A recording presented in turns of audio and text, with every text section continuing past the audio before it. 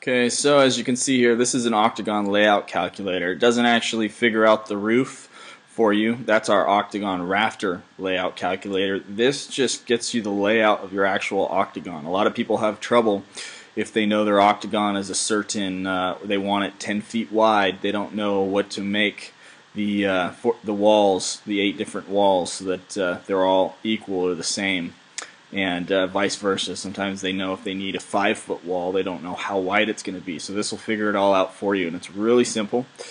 We're going to start with A, and uh, all you would need to do if, if, let's say that you want an octagon that's 10 foot apart, a 10 foot span. So we'll just go ahead and enter in 10 foot, and then if you notice, B, C, and R automatically have dimensions already logged in, and uh, that is four foot one and 11 sixteenths is what the uh, length of side or the face of the wall is going to be. And uh, it gives you C which is the projection two foot 11 and an eighth. And then it gives you the radius which is going to be to the outside corner because this is the farthest part the radius of the octagon which we see is 5 foot 4 and 15 sixteenths. So really simple to use and uh, if you need to lay it out you would use this and then use octagon rafter layout calculator to, uh, to build the roof. Okay, thank you.